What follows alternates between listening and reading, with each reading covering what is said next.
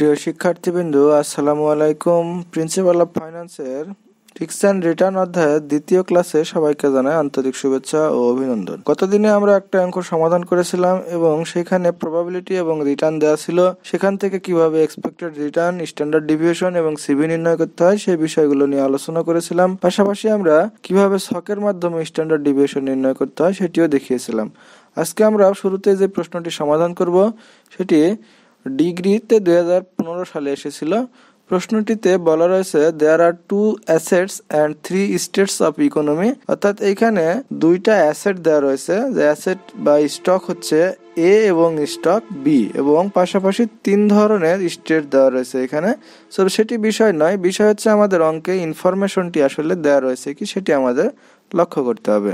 আমাদের অঙ্কে প্রবাবিলিটি দেওয়া রয়েছে, এই যে এখানে প্রবাবিলিটির মান দেওয়া রয়েছে এবং রেট অফ রিটার্ন অর্থাৎ রিটার্ন এবং প্রবাবিলিটি উভয়টি দেওয়া রয়েছে। আমরা গত দিনেও বলেছিলাম যে অঙ্কে যদি প্রবাবিলিটি এবং রিটার্ন দেওয়া থাকে তাহলে একরকমভাবে সমাধান করতে হয়। এবং প্রবাবিলিটি ছাড়া যদি শুধু রিটার্ন দেওয়া থাকে, তাহলে অন্যভাবে সমাধান করতে হয়। সো আজকেও আমরা প্রবাবিলিটি সহ কীভাবে অঙ্কের সমাধান করতে হয় সে বিষয়টি নিয়েই আলোচনা করব। সো প্রথমত বলা রয়েছে রিকোয়ার্ড নাম্বার একে যে what are the expected return of this stock অর্থাৎ এখানে যে দুইটা স্টক দেওয়া রয়েছে স্টক এ এবং স্টক বি এবং এই দুইটি স্টকেরই এক্সপেক্টেড রিটার্নের মান কত হবে সেটি আমাদেরকে বের করে দেখাতে হবে। সো আমরা এক্সপেক্টেড রিটার্নের মান বের করার জন্য জানি যখন প্রবাবিলিটি এবং রিটার্ন দুইটি দেওয়া থাকবে, তখন আমাদের ফর্মুলাটি হবে নিম্নরূপ। এক্সপেক্টেড রেট অফ রিটার্ন সমান সমান summation P I into R I বা এখানে আমরা বলেছিলাম গত দিনে যে R one into P one R two P two R three P three এইভাবে আমরা নির্ণয় করব। সো এটিকে এভাবেও প্রকাশ করা যায় যে এক্সপেক্টেড রেট অফ রিটার্ন এটিকে ই ইন্টু এক্স বার এক্সের উপরে বার দিয়েও এটিকে এক্সপেক্টেড রিটার্ন হিসাবে প্রকাশ করা যায়। এবং এটির ফর্মুলা হবে P one into R one P two R two P three R three এইভাবে আমরা লিখতে পারি অথবা এভাবেও লিখতে পারি যে summation P I into R I অর্থাৎ পি এবং আর এর যে মান রয়েছে এগুলোর গুণফল করতে হবে এবং সেটির সমষ্টি নির্ণয় করতে হবে। তাহলে আমরা প্রথমত পি বলতে প্রবাবিলিটিকে বোঝাচ্ছি যে প্রথম প্রবাবিলিটির মান হচ্ছে পয়েন্ট থার্টি তাহলে আমরা এখানে পয়েন্ট থার্টি এই মানটি লিখব এবং এর সঙ্গে গুণ দেব স্টক এ এর রিটার্নের মান পয়েন্ট টোয়েন্টি ফাইভ ছিল প্রথম বছরে, আমরা সেই পয়েন্ট টোয়েন্টি ফাইভ এখানে লিখব। এবং মাঝখানে একটি প্লাস দেব, দেওয়ার পরে আমরা দ্বিতীয় বছরের মানটি লিখব, যে দ্বিতীয় বছরের মানটি ছিল প্রবাবিলিটির মান ছিল পয়েন্ট ফর্টি এবং রিটার্নের মান ছিল পয়েন্ট ফিফটিন তাহলে আমরা এই মানটি এখানে লিখব পয়েন্ট ফর্টি এবং পরবর্তীতে গুণের পরে লিখব আমরা পয়েন্ট ফিফটিন এইভাবে প্লাস দিব পরবর্তীতে, আবারও আমরা পরবর্তী মানটি লিখব। পরবর্তী মান হচ্ছে লাস্ট যেটি ছিল পয়েন্ট থার্টি এবং রিটার্নের মান হচ্ছে পয়েন্ট ফিফটি ফাইভ তাহলে আমরা এখানে পয়েন্ট থার্টি এবং গুণ পয়েন্ট ফিফটি ফাইভ লিখব। এখন আমরা এটিকে ক্যালকুলেশন করব, করলে আমাদের যে মানটি আসবে সেটিকে আমরা expected rate of return of stock A হিসাবে আমরা লিখে দেব। তাহলে এটির মান এসেছে তিরিশ পার্সেন্ট বা পয়েন্ট থার্টি সেম ভাবে আমরা প্রজেক্ট বি এরও যে এক্সপেক্টেড রেট অফ রিটার্নের মান হবে, সেটি বের করে ফেলব। সেই ক্ষেত্রে এখানে রিটার্নের মানটা পরিবর্তন হবে। অর্থাৎ এখানে পয়েন্ট থার্টি গুণ হচ্ছে পয়েন্ট টু ফাইভ এর পরিবর্তে এখানে আমরা লিখব পয়েন্ট থার্টি ফাইভ কারণ স্টক বি যখন আমরা করব স্টক বি এর যে ইনফরমেশনগুলো রয়েছে সেগুলো নিতে হবে। স্টক এ এর ইনফরমেশনগুলো এখানে নেওয়া যাবে না। সো এইভাবে আমরা এক্সপেক্টেড রিটার্ন বের করে ফেলব উভয় স্টকেরই পরবর্তীতে যেটি বলা ছিল বি নাম্বার রিকোয়ারমেন্টে যে what will be the standard deviation of this stock অর্থাৎ এই দুই স্টকের স্ট্যান্ডার্ড ডিভিয়েশনের মান কত হবে সেটি আমাদেরকে নির্ণয় করে দেখাতে হবে। সো আমরা জানি যে স্ট্যান্ডার্ড ডিভিয়েশনটি মূলত দুইভাবে ক্যালকুলেশন করা যায়। একটি হচ্ছে শকের মাধ্যমে এবং আরেকটি হচ্ছে এইভাবে সূত্রের মাধ্যমে।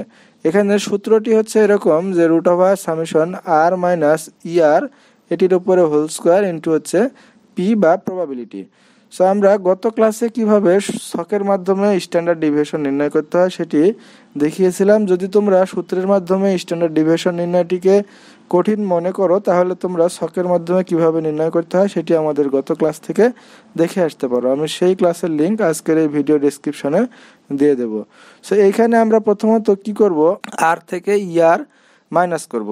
তাহলে আমাদের আর এর মান ছিল যখন আমরা স্ট্যান্ডার্ড ডিভিয়েশন প্রজেক্ট এ বা সিকিউরিটি এক্স এ যখন আমরা করব, তখন আমরা এটির আর এর মান যেটি ছিল, যে প্রজেক্ট এক্সের বা প্রজেক্ট এর আর এর মান ছিল পয়েন্ট টু ফাইভ এবং এটি ইয়ার এর মান ছিল পয়েন্ট থার্টি তাহলে আমরা এখানে কি করব? আর থেকে ইয়ার বাদ দেবো। আর হচ্ছে পয়েন্ট টোয়েন্টি ফাইভ এবং ইয়ার হচ্ছে পয়েন্ট থার্টি ইয়ার বলতে আমরা এখানে যেটি বের করলাম যে এক্সপেক্টেড রেট অফ রিটার্ন বা ইয়ার পয়েন্ট থার্টি বা তিরিশ পার্সেন্ট তাহলে আমরা এখানে লিখব আর মাইনাস ইয়ার এখন এটির উপরে স্কোয়ার দিব। আর থেকে ইয়ার বাদ দেওয়ার পরে এটিকে স্কোয়ার করব। করার পরে এর সঙ্গে গুণ দিব প্রবাবিলিটি এখন প্রবাবিলিটি প্রথম বছরে কত ছিল? প্রথম বছরে ছিল পয়েন্ট থার্টি তাহলে আমরা এখানে লিখব পয়েন্ট থার্টি এখন আমরা এই পুরো অংশটি ক্যালকুলেশন করব এতটুকুন। ক্যালকুলেশন করে রেখে দেবো, দেওয়ার পরে এখানে মাঝখানে প্লাস চিহ্ন দেবো। তাহলে এতটুকু ক্যালকুলেশন করলে আমাদের মান আসবে point zero zero zero seven five এখন আমরা এখানে প্লাস চিহ্ন দেব, দেওয়ার পরে এই পরের অংশটি ক্যালকুলেশন করব। পরের অংশ সেমভাবে আবার আর থেকে ইয়ার বাদ দেবো। এখন আর পরবর্তী আর এর মান ছিল কত? পরবর্তী আর এর মান ছিল পনেরো পার্সেন্ট এই যে পনেরো পার্সেন্ট এবং লাস্ট যেটি ছিল পঞ্চান্ন পার্সেন্ট তাহলে আমরা এখানে লিখব পনেরো পার্সেন্ট এবং লাস্ট যেটি ছিল পঞ্চান্ন পার্সেন্ট এখানে এই অংশটিও আমরা দেখিয়ে নিতে পারি। এখান থেকে ইয়ার বাদ দেবো। ইয়ার আমাদের তিরিশ পার্সেন্ট যেটা আমরা বের করেছিলাম, তাহলে আর থেকে ইয়ার বাদ দেবো, দিয়ে প্রবাবিলিটির মান গুণ দেবো। এই ক্ষেত্রে প্রবাবিলিটির মান পরের বছরের প্রবাবিলিটির মান ছিল পয়েন্ট চল্লিশ। তো এইভাবে আমরা তিনটি মানই বের করে নেব, নেওয়ার পরে এই তিনটি মানকে একত্রিত করে যোগ করে দেবো। দিলে আমাদের যে মান থাকবে, সেটিকে যদি আমরা রুট ওভার করি, তাহলে আমরা দেখব যে আমাদের মান দাঁড়ায় point one six eight eight আর ষোলো পয়েন্ট এইট এইট পার্সেন্ট যেটি আমরা একশো দ্বারা গুণ দিয়ে এই মানটি বের করে নিয়ে আসতে পারি। সো আশা করি বিষয়টি ক্লিয়ার হয়ে গেছে তোমাদের সামনে। এর পরবর্তীতে আমরা প্রজেক্ট বি এর জন্য সেম ভাবে স্ট্যান্ডার্ড ডিভিয়েশন নির্ণয় করে ফেলব। সেই ক্ষেত্রে শুধু আর এর মানটা পরিবর্তন হবে যে আমরা যখন স্ট্যান্ডার্ড ডিভিয়েশন অফ এ করব, তখন আর এর মানটা নিব স্টক এ থেকে, এবং যখন বি এর মান বের করব, তখন আর এর মানটা নিব প্রজেক্ট বি থেকে। এবং সেই ক্ষেত্রে আমাদের এক্সপেক্টেড রিটার্নের মানটিও চেঞ্জ হবে। যে এক্সপেক্টেড রিটার্ন যখন আমরা এ প্রজেক্টেড করেছিলাম, তখন ছিল তিরিশ পার্সেন্ট কিন্তু আমাদের বি প্রজেক্টের এক্সপেক্টেড রিটার্নের মান আমাদের ছিল পয়েন্ট ফোর থ্রি ফাইভ বা তেতাল্লিশ দশমিক পঞ্চাশ পার্সেন্ট সো আমরা এই মানটিকে এখানে স্ট্যান্ডার্ড ডিভিয়েশনের সময় নিয়ে আসব। পরের অঙ্কটিতে যেভাবে বলা রয়েছিল, যে অঙ্কটি এসেছিল দুই হাজার ষোলো সালে অল ডিপার্টমেন্ট দু হাজার চোদ্দ সালে এবং বিবিএস দু হাজার ষোলো সালে এসেছিল।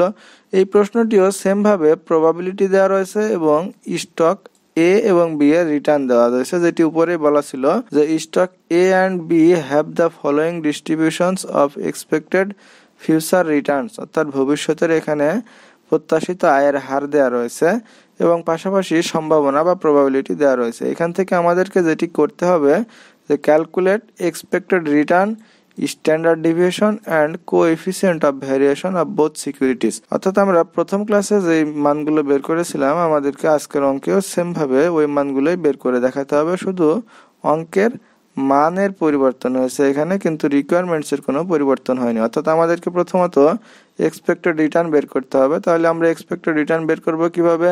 R one into P one plus R two P two plus R three P three plus R four P four plus R five P five এখানে যেহেতু পাঁচটি রয়েছে, আমরা এখানে পাঁচ পর্যন্ত লিখেছি। এখানে যত দূর পর্যন্ত থাকবে, আমরা ঠিক তত দূর পর্যন্তই লিখব। তাহলে যেহেতু আমরা প্রথমত স্টক এ এর এক্সপেক্টেড রিটার্ন বের করব, তাহলে আগে আমরা এ এর রিটার্নের মানগুলো লিখে নেব। প্রথম রিটার্নের মান হচ্ছে মাইনাস টেন পার্সেন্ট অর্থাৎ আমরা এখানে লিখব মাইনাস পয়েন্ট টেন এবং এর সঙ্গে প্রবাবিলিটির মান হচ্ছে দশ পার্সেন্ট বা পয়েন্ট টেন তাহলে আমরা এই পয়েন্ট টেনটি এখানে লিখব।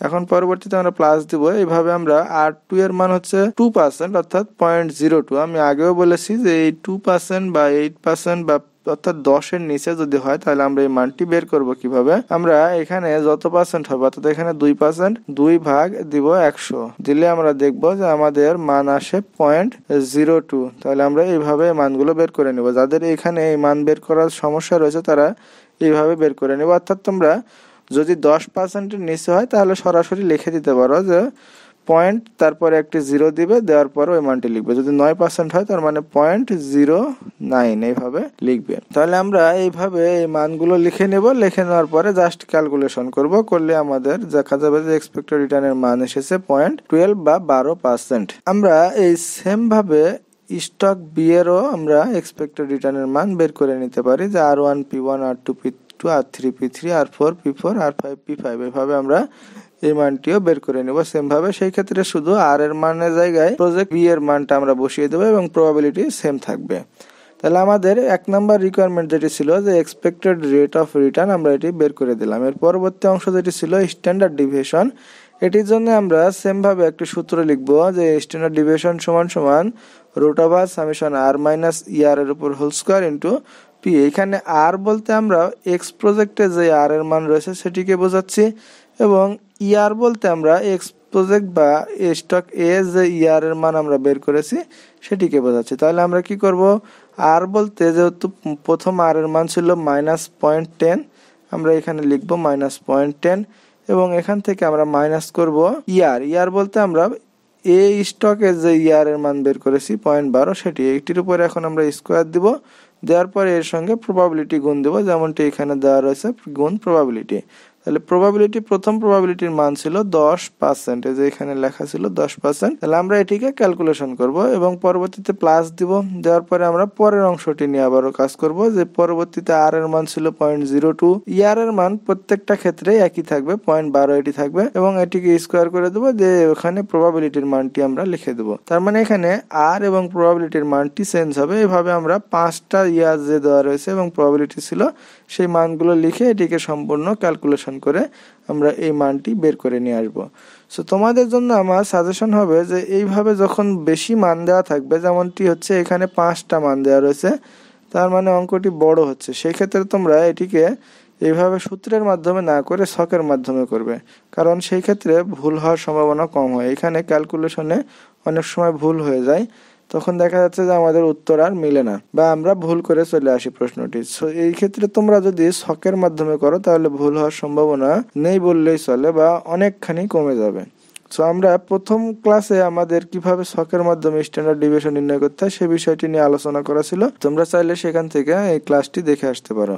সো এইভাবে আমরা যদি স্ট্যান্ডার্ড ডিভিশন নির্ণয় করি, আমরা প্রজেক্ট এ এবং প্রজেক্ট বি উভয়টির স্ট্যান্ডার্ড ডিভিশন সেম ভাবে নির্ণয় করে দেব। এরপর লাস্ট যেটি ছিল যে coefficient of variation of both stocks তার মানে আমাদেরকে এখান থেকে কো এফিসিয়েন্ট অফ ভ্যারিয়েশন নির্ণয় করতে হবে। আমি পূর্বেও বলেছি যে সিভি এটিকে সংক্ষেপে বলা হয় সিভি অর্থাৎ কো এফিসিয়েন্ট অফ ভ্যারিয়েশন এটির ফর্মুলা হচ্ছে উপরে থাকবে সিগমা বা স্ট্যান্ডার্ড ডিভিয়েশন নিচে থাকবে এক্সপেক্টেড রিটার্ন এবং গুণ দেবো আমরা একশো দ্বারা। তাহলে আমাদের স্ট্যান্ডার্ড ডিভিয়েশনের মান আমরা এইমাত্র বের করলাম point one two two zero যেটি আমরা এখানে লিখব এবং আমাদের এক্সপেক্টেড রিটার্নের মান আমরা পূর্বে বের করেছি পয়েন্ট বারো বা বারো পার্সেন্ট তাহলে আমরা এই পয়েন্ট বারো নিচে লিখব এবং একশো দ্বারা গুণ দিব। দিলে দেখা যাবে এটি ক্যালকুলেশন করলে একশো এক দশমিক সাতষট্টি পার্সেন্ট এইভাবে আমরা প্রজেক্ট বি এরও কোএফিসিয়েন্ট অফ ভেরিয়েশনের মান বের করে নেব। সো আজ এ পর্যন্তই। পরবর্তী ক্লাসে প্রবাবিলিটি ছাড়া কীভাবে আমরা অঙ্ক সমাধান করব এক্সপেক্টেড রিটার্ন স্ট্যান্ডার্ড ডিভিয়েশন এবং কোএফিসিয়েন্ট অফ ভ্যারিয়েশনের মান বের করব, সেই বিষয়গুলো নিয়ে আলোচনা করব। সো আশা করি পরবর্তী ক্লাসগুলো তোমরা দেখবে। সে আশা ব্যক্ত করে এখানে শেষ করছি। ভালো থাকবে সবাই। আল্লাহ হাফেজ।